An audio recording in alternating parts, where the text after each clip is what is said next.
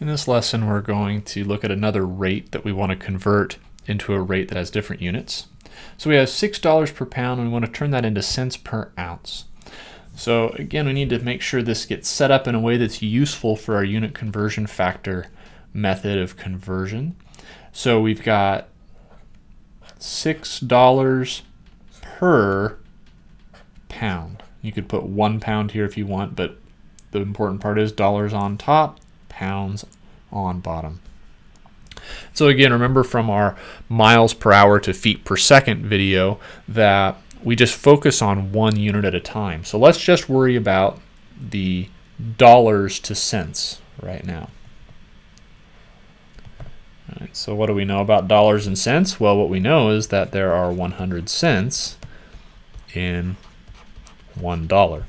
Okay, a quick note is make sure you whenever you're working with dollars and cents, you put the cents unit and the dollar unit in the correct place. Dollars always come before the number, cents always come after the number. So just remember that distinction. Don't don't mix those up.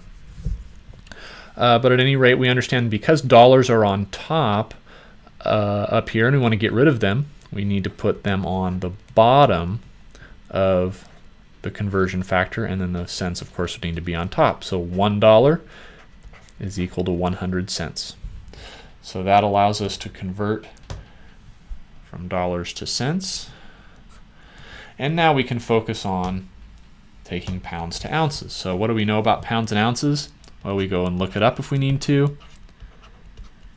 There are 16 ounces in one pound. So we'll use that.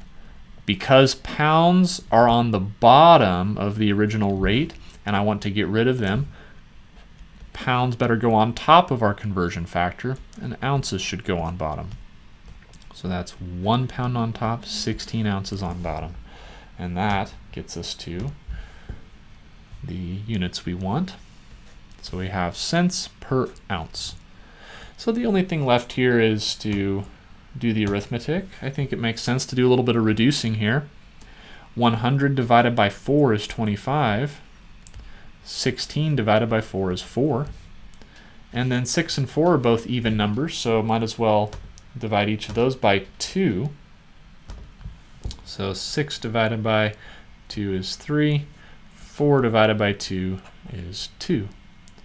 So on the top there, what we have is 3 times 25, which is 75.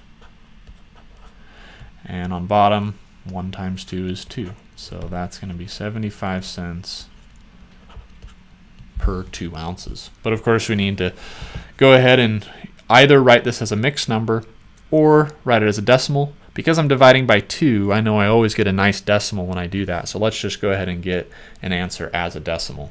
So 75 divided by 2. 2 goes into 7 three times.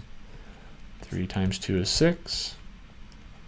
Drop down our 5. 2 goes into 15 seven times. Get a remainder of 1, and then we'll keep going since we're going to get a decimal answer here. So add a 0, add a decimal to the quotient, drop that 0 down, and 2 goes into 10 exactly 5 times. So our answer here is that $6 a pound is the same as 37 0.5 or 37 and a half cents per ounce.